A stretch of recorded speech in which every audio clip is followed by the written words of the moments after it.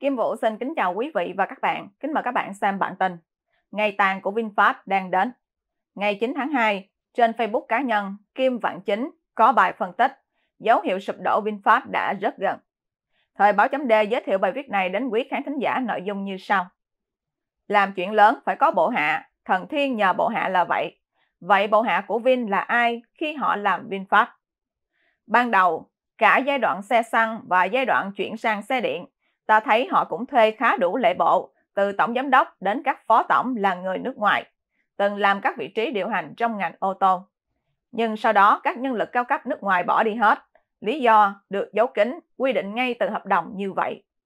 Nhưng rõ ràng là ai cũng có thể thấy họ bỏ đi vì họ bất đồng về chiến lược và phương thức quản trị của Vinh.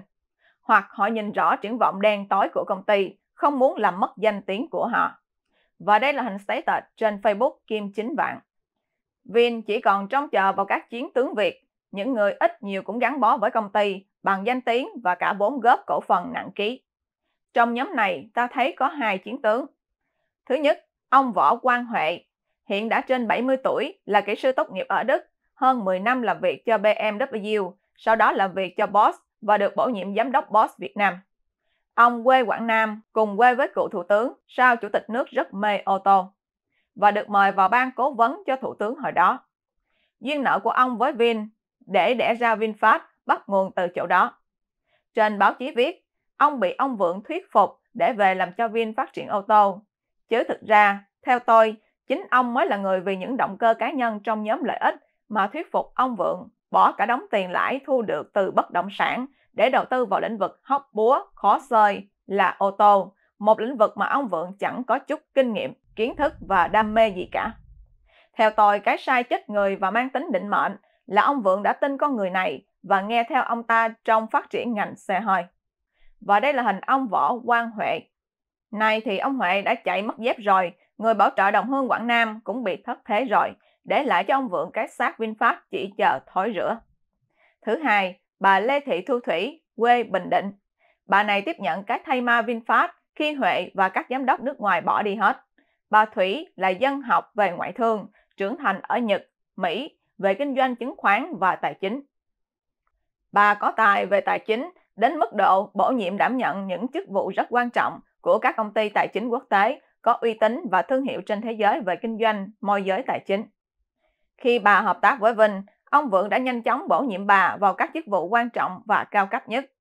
Bà Thủy đã cứu cho Vinh nhiều bàn thua trong thấy, chủ yếu bằng phương pháp tài chính như bán trái phiếu thành công, vay vốn từ các định chế tài chính. Và khi VinFast bị các chiến tướng chuyên ngành bỏ rơi, bà Thủy buộc phải nhận cái thay ma đó về để làm tổng giám đốc toàn cầu. Bà đã lúng quá sâu vào Vin, cổ phần và danh tiếng nên buộc lòng phải ra tay lần nữa. Và đây là hình ông Phạm Nhật Vượng. Và con đường của bà dẫn dắt VinFast rất đặc trưng cho kiểu chiến lược của đàn bà chuyên về tài chính, chả có tí chuyên môn gì về ô tô, cả về kỹ thuật và thương mại bán hàng. Bà biến VinFast thành toàn cầu, định hướng thị trường trọng điểm và nơi sẽ gọi vốn là Mỹ và châu Âu. Bà dùng những chiêu trò tài chính và marketing rẻ tiền, sặc mùi con buôn tiểu chủ Á Đông, chả hiểu gì về văn hóa và tâm lý tiêu dùng của người Âu Mỹ. Với chiến lược và các chiêu trò như vậy, VinFast sống được đến giờ và giá cổ phiếu vẫn trên 5 đô la là chiến tích lớn rồi. Nhưng như vậy chưa đủ để cứu VinFast. Thứ ba, ông Vượng phải trực tiếp ra tay, trở thành CEO VinFast. Ông quay sang chiến lược tự bán xe cho mình, lập tức công ty taxi ở nhiều nước để mua xe của Vin. Ông phát triển phương thức hợp tác với các công ty chuyên cho thuê xe và đại lý bán hàng để ký gửi xe. Ông mở rộng sang các thị trường châu Á như Ấn Độ, Indonesia, Philippines với hy vọng xe của ông bán được, cứu công ty không phá sản. Ông tiếp tục chiêu trò quảng bá đánh lừa khách hàng mua xe của ông và ông tiếp tục phải ôm của nợ VinFast để làm CEO đến hết giai đoạn thối rữa của nó. Quý vị và các bạn đang xem chương trình trực tiếp của Kim Vũ với bản tin Ngày tàn của VinFast đang đến. Xin mời quý vị và các bạn chia sẻ video này cho nhiều người biết và bấm nút theo dõi trên YouTube và Facebook của Thời báo chấm đề để luôn được cập nhật bản tin mới nhất, nhanh nhất và trung thực nhất. Kim Vũ xin kính chào các bạn và hẹn gặp lại các bạn trong chương trình lần tới. Kim Vũ xin kính chào quý vị và các bạn. Kính mời các bạn xem bản tin. đánh chặn sớm để Trần Tuấn Anh không còn cơ hội trở mình. Tiếp theo phần 1 đã đăng tải vào ngày 6 tháng 2, ngày 8 tháng 2, Báo Tiếng Dân tiếp tục đăng phần 2 của loạt bài Vì sao Ủy viên Bộ Chính trị Trần Tuấn Anh ngã ngựa của tác giả Phạm Vũ Hiệp. Thời báo chấm D tóm lược nội dung bài viết giới thiệu đến quý khán thính giả như sau. Trong suốt nhiệm kỳ Bộ trưởng Bộ Công Thương, Trần Tuấn Anh luôn được đồng đảng săn sóc đặc biệt khi liên tục bị đưa ra chất vấn tại diễn đàn trong 3 kỳ họp của Quốc hội khóa 14. Kỳ họp thứ hai vào tháng 11 năm 2016, kỳ họp thứ 6 vào tháng 10 năm 2018 và kỳ họp thứ 8 vào tháng 11 năm 2019. Và đây là hình bài trên báo Tiếng Dân. Tuấn Anh phải đối mặt với những câu hỏi hóc búa, chém đinh chặt sắt của các bố già, quả đen như Dương Trung Quốc, Phùng Quang Hiển, Lê Thanh Vân, Lưu Bình Nhưỡng. Họ dồn ép Tuấn Anh vào thế khó, phải trả lời, phải cam kết chịu trách nhiệm tất tần tật những di sản tại Bộ Công Thương của nhiệm kỳ trước, từ thời Thủ tướng Nguyễn Tấn Dũng.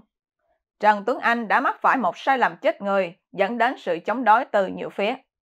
Tuấn Anh chủ trương giảm thiểu đầu tư thủy điện, loại dần đầu tư như diệt điện.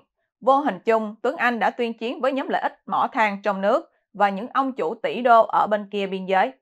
Mà hai thế lực đó từ lâu đã chi phối hầu hết ngành điện Việt Nam.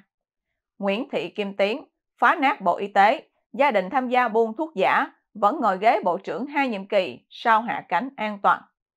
Nguyễn Hồng Diên làm Bộ trưởng Bộ Công Thương, nhưng học thanh vận chuyên về tuyên giáo. Đào Hồng Lan học công nghiệp vật liệu xây dựng lại làm Bộ trưởng Bộ Y tế.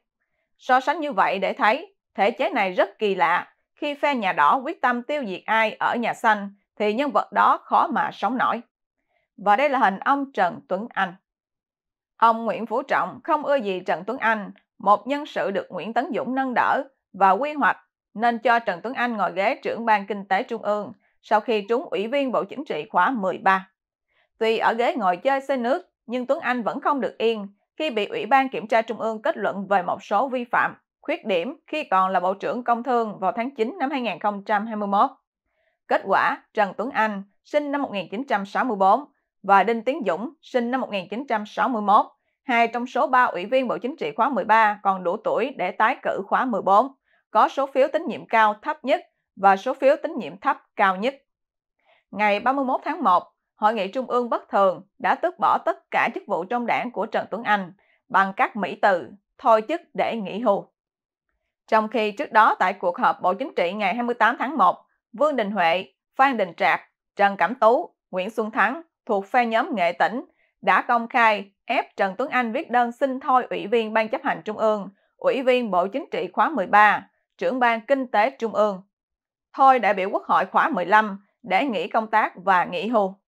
Và đây là hình ông Vương Đình Huệ, người được cho là cầm đầu phe nghệ tỉnh. Cũng như mọi cuộc tranh giành khác, tranh giành quyền lực trong đảng, phe nào mạnh hơn thì phe đó sẽ thắng. Mạnh nhất lúc này là phe nghệ tỉnh, Trần Tuấn Anh và Đinh Tiến Dũng đã bị lôi những sai phạm từ nhiệm kỳ trước ra để kết tội.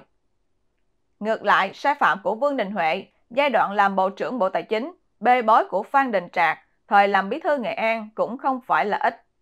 Trần Tuấn Anh đã bị phe đối thủ hạ bệ thành công trong những ngày giáp Tết. Sau Tết Giáp Thìn, đến lượt Đinh Tiến Dũng sẽ lên đoạn đầu đài trong một hội nghị trung ương bất thường. Dũng sẽ bị cưa hết tất cả các ghế. Trần Tuấn Anh và Đinh Tiến Dũng phải bị thịt để người của họ Vương và phe nghệ tỉnh trám vào chỗ khuyết. Đánh chặn sớm 2 năm để cả Tuấn Anh lẫn Tiến Dũng không còn cơ hội tranh vé tứ trụ khóa 14 của đảng. Trong đảng không hề có công bằng, dân chủ, thì làm gì có công bằng và dân chủ cho người dân. Quý vị và các bạn đang xem chương trình trực tiếp của Kim Vũ với bản tin Đánh chặn sớm để Trần Tuấn Anh không còn cơ hội trở mình. Xin mời quý vị và các bạn chia sẻ video này cho nhiều người biết và bấm nút theo dõi trên YouTube và Facebook của Thời báo chấm đề để luôn được cập nhật bản tin mới nhất, nhanh nhất và trung thực nhất. Kim Vũ xin kính chào các bạn và hẹn gặp lại các bạn trong chương trình lần tới.